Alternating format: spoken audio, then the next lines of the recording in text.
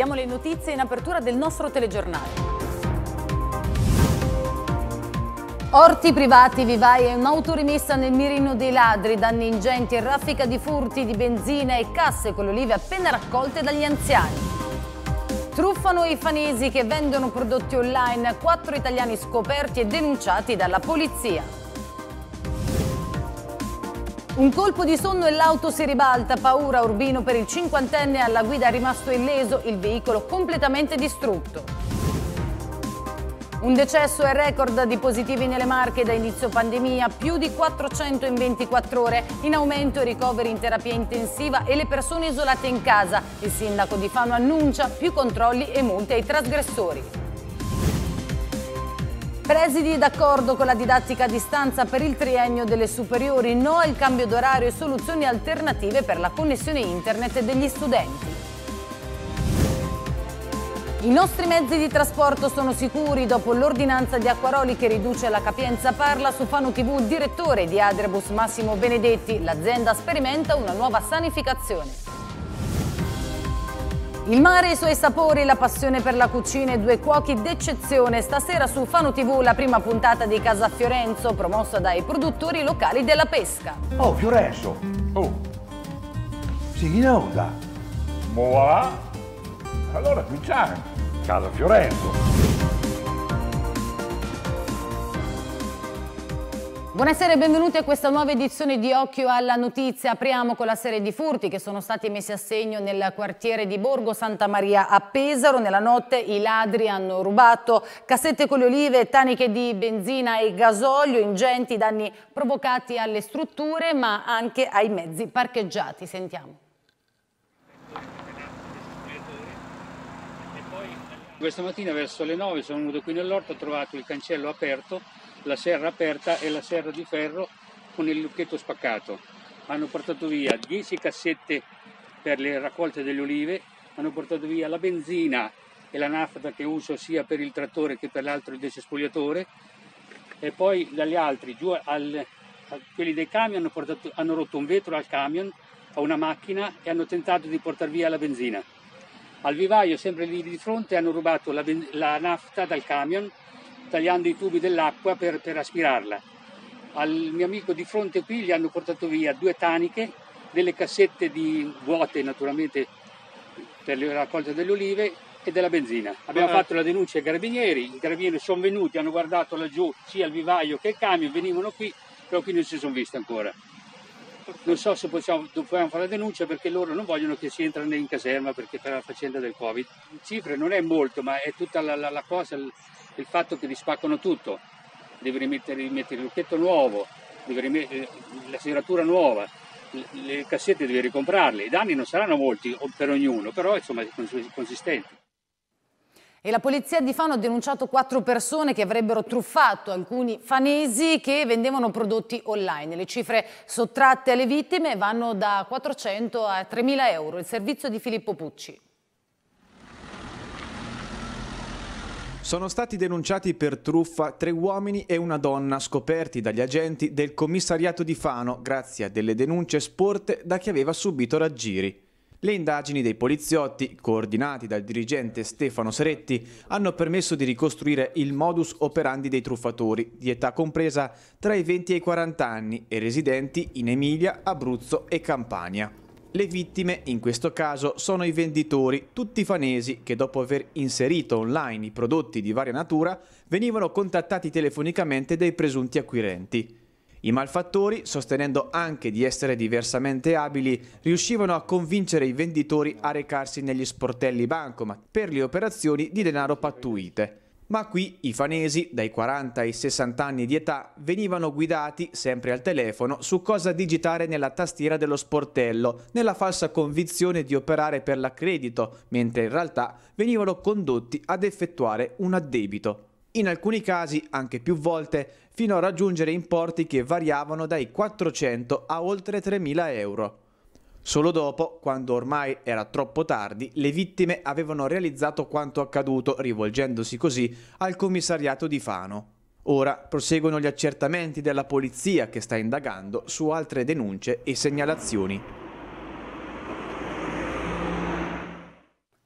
E anche oggi nelle Marche si è verificato un decesso legato al coronavirus. La vittima è un'anziana di 91 anni, morta all'ospedale di Fermo. La donna del posto aveva patologie pregresse. I contagi invece sono in forte crescita anche in relazione ad un aumento dei tamponi testati. Dopo i 321 casi rilevati ieri, oggi si registra un record da inizio pandemia, con 453 positivi riscontrati nel percorso nuove diagnosi, 127 in provincia di Macerata, 111 in in quella di Ascoli Piceno, 92 nell'Anconetano, 70 in provincia di Fermo, 42 in quella di Pesaro Urbino e 11 fuori regione. Questi casi comprendono per lo più contatti in ambiente domestico, 97 casi rilevati e 116 contatti stretti di casi positivi. Inoltre i ricoveri passano da 152 a 174. I pazienti in terapia intensiva salgono da 19 a 22, mentre quelli in semi-intensiva da 8 a 9. In aumento anche le persone in quarantena per contatti con contagiati, che ad oggi sono oltre 7.500.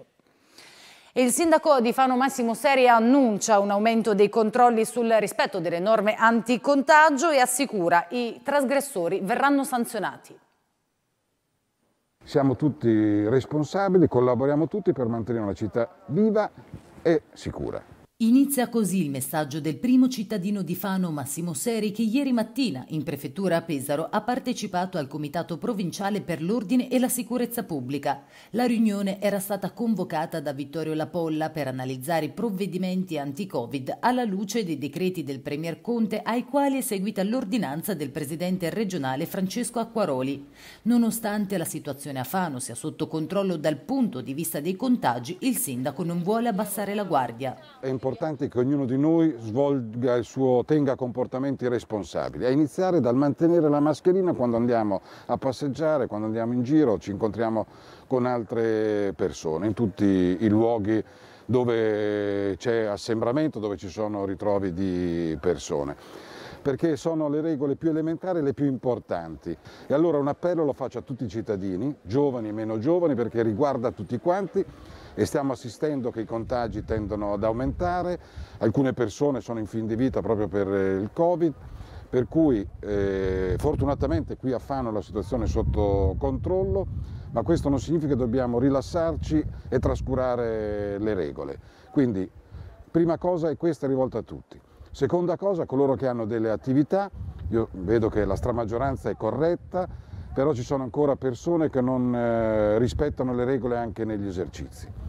Quindi anche su questo mi appello al buon senso e al rispetto delle regole. Il sindaco ha poi annunciato un aumento dei controlli, assicurando che chi non rispetta le norme anticontagio verrà sanzionato. Noi abbiamo adottato un criterio che è quello della persuasione, della condivisione, dell'aiutare al rispetto delle regole, ma poi c'è un limite, quando queste per coloro che non le rispettano poi interveniamo. Abbiamo anche detto che aumenteremo con le forze dell'ordine i controlli che non devono essere eh, soppressivi, repressivi, però se c'è bisogno interverremo anche con delle sanzioni, perché poi c'è un momento eh, in cui occorrono anche queste per eh, la tutela di tutti, ripeto, è per tutelare noi stessi e gli altri e diventa importante se vogliamo proseguire mantenendo questa situazione nell'interesse anche della città.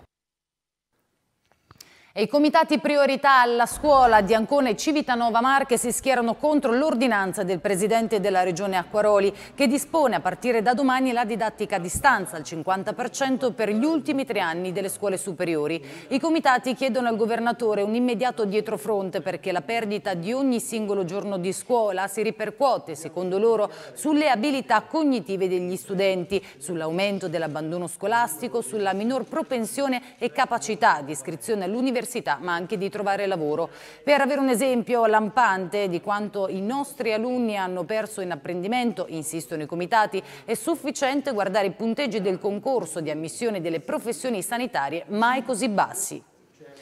E sulle nuove disposizioni per le scuole superiori oggi abbiamo sentito il presidente regionale dell'Associazione Nazionale Presidi per capire in che modo si stanno organizzando le dirigenze scolastiche ma anche che cosa succederà appunto da domani per il triennio. Tutti i dettagli nel servizio di Angelica Panzieri.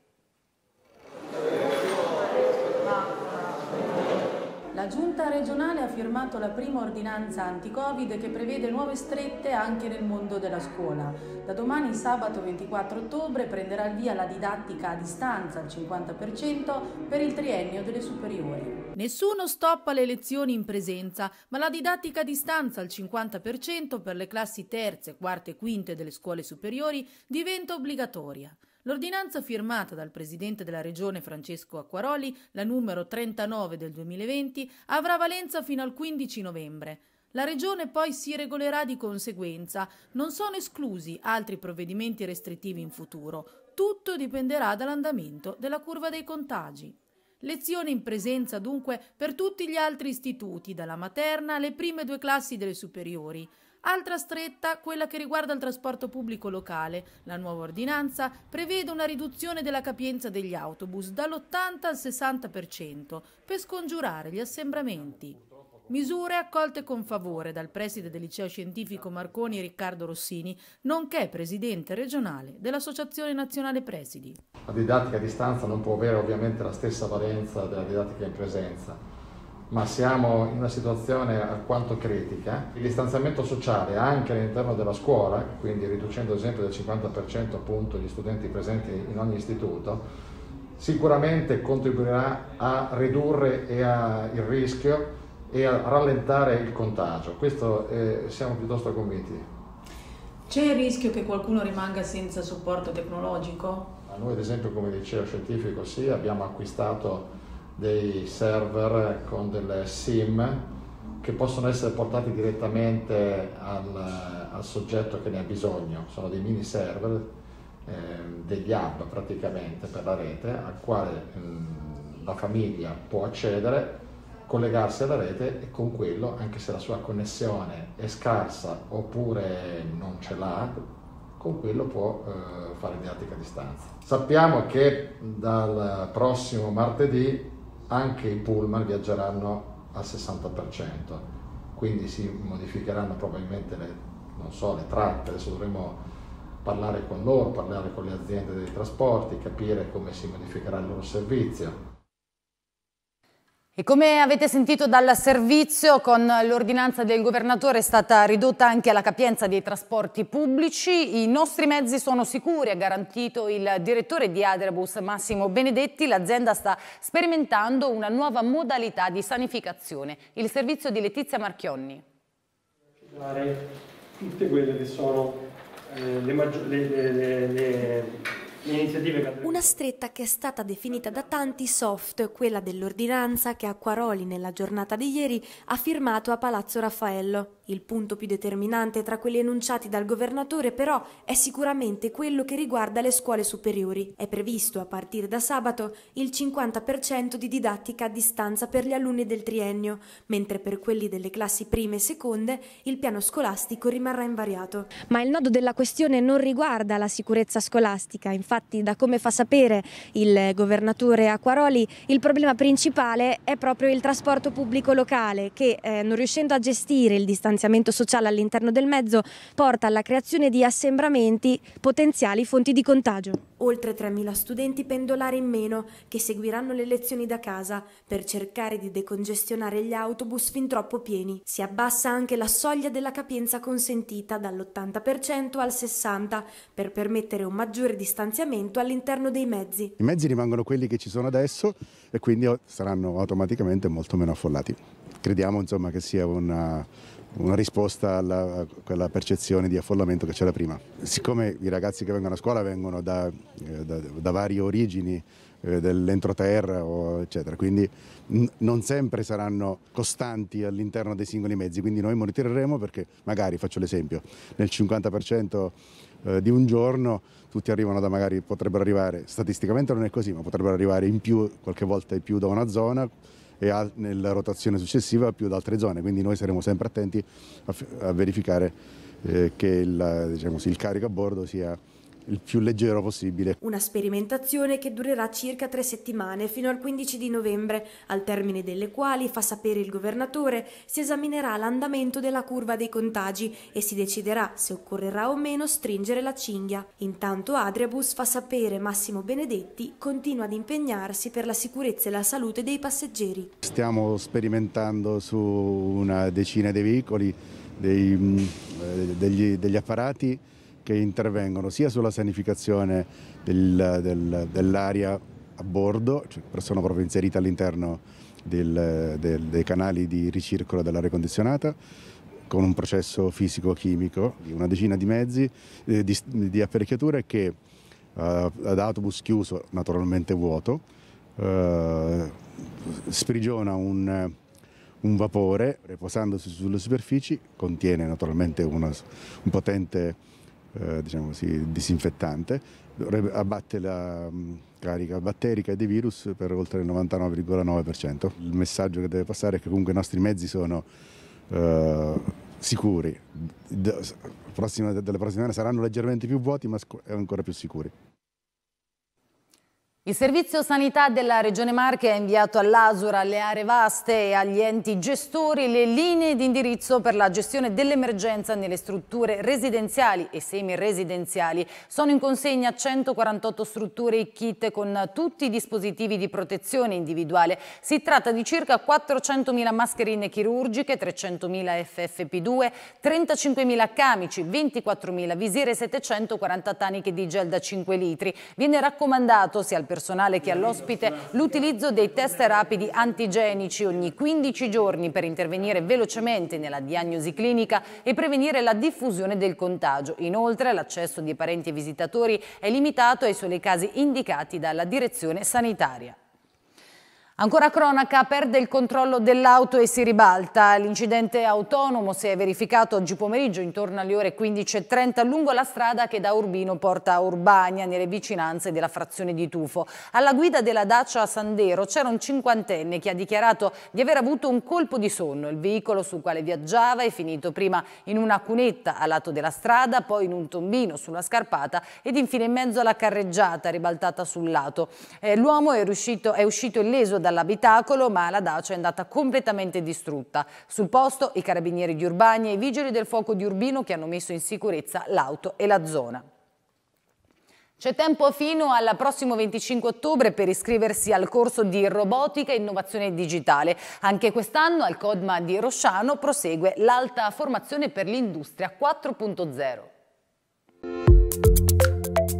Un percorso formativo per affrontare la quarta rivoluzione industriale, in un mondo in cui il digitale sta trasformando il modo di lavorare nelle fabbriche, ma anche le catene di fornitura fino al rapporto col cliente finale, sono sempre più richieste figure competenti. Stiamo assistendo a un processo irreversibile che porterà alla produzione automatizzata, dove i tecnici altamente specializzati contribuiscono alla crescita dell'industria 4.0. Per assicurare un efficace e rapido inserimento nel mondo del lavoro, a Fano è disponibile un corso gratuito promosso dal Ministero dell'Istruzione, dell'Università e della Ricerca. È un corso ITS, un istituto tecnico superiore di robotica e innovazione digitale. Si rivolge a ragazzi e adulti anche diplomati, quindi è un post diploma o post laurea. Quante sono invece le ore totali?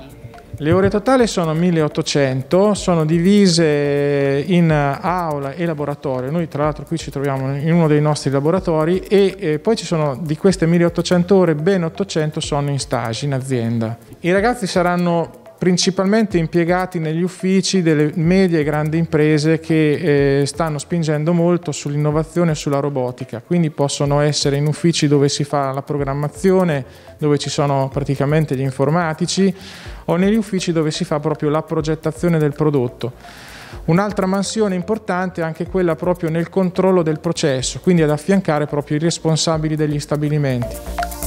L'iscrizione al corso, che dura in totale tre anni, scadrà il prossimo 25 ottobre, ma verranno valutate anche le domande che arriveranno successivamente. La percentuale di impiego, spiega il presidente Paoletti, supera l'85%, tanto che molti studenti del primo anno hanno già un lavoro part-time. Tra le aziende che collaborano con l'istituto, anche tramite il ruolo di docenti, c'è l'Intac SRL di Senigallia, che applica le tecnologie informatiche agli impianti, creando ambienti intelligenti e interconnessi. Eh, noi eh, crediamo che eh, diciamo, l'industria 4.0 sia un'opportunità eh, e la trasformazione digitale in generale per eh, innovare le aziende e, e, creare anche nuove forme di occupazione. Per questo dedichiamo una parte del nostro tempo a collaborazioni con istituti di ricerche, università e ITS del territorio. Ehm, con ITS eh, diciamo, per andare ecco, a, poi a formare quei tecnici che andranno a lavorare nell'industria del futuro. Con ITS stiamo facendo un progetto diciamo, delle docenze, dei laboratori per diffondere la conoscenza eh, delle tecniche di programmazione e dei sistemi di controllo eh, per l'industria 4.0. E ovviamente alcune delle immagini che avete visto sono di repertorio, dunque girate prima dell'emergenza sanitaria. Adesso parliamo di ginnastica dolce perché eh, dopo il grande successo riscosso dal programma Anziano Sarai Tu, lunedì prossimo trasmetteremo le nuove puntate del progetto realizzato in collaborazione con ASI.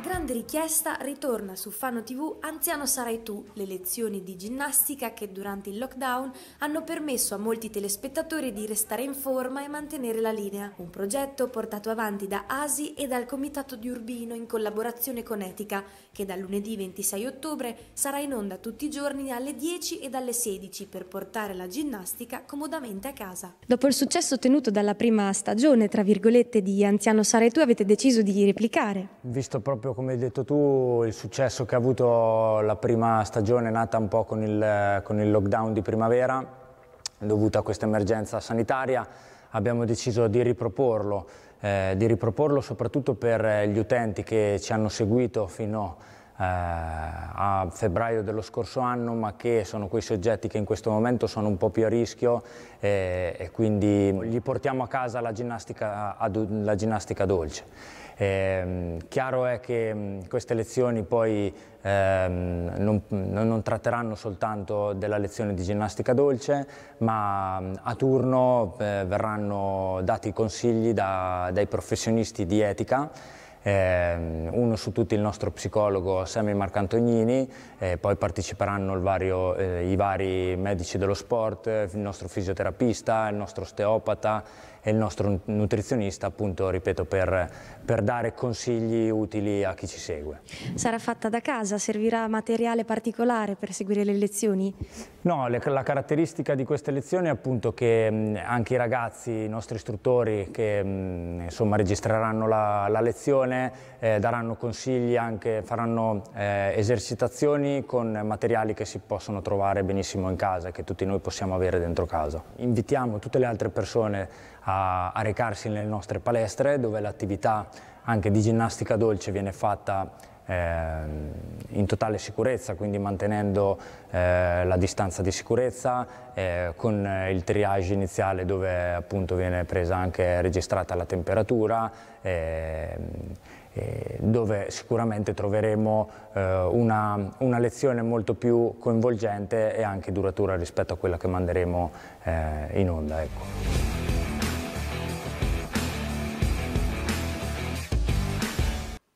E anche oggi apriamo il grande album di Fano TV per fare gli auguri a Bruno Mariotti e Cecilia Mazzanti di Rosciano di Fano che oggi festeggiano 60 anni di matrimonio. Auguri da tutti i familiari e ovviamente dallo staff di Fano TV. E vi ricordo che lunedì sera torna Primo Cittadino, come vedete alle mie spalle, il sindaco di Urbino Maurizio Gambini sarà nostro ospite, potete eh, leggere tutti i numeri di riferimento per intervenire in diretta. Tra poco invece andrà in onda la prima puntata di Casa Fiorenzo, un programma di Fano TV promosso dall'organizzazione produttori della pesca di Fano e dedicato ai piatti della tradizione locale e al pesce dell'Adriatico. Protagonisti Fiorenzo Giammattei e Stefano Facchini. Seguirà uno speciale dedicato dedicato agli stati generali del turismo e allora buona visione con i programmi di Fano TV, l'informazione torna domani mattina con la rassegna stampa Occhio ai giornali insieme al direttore Marco Ferri. Buona serata.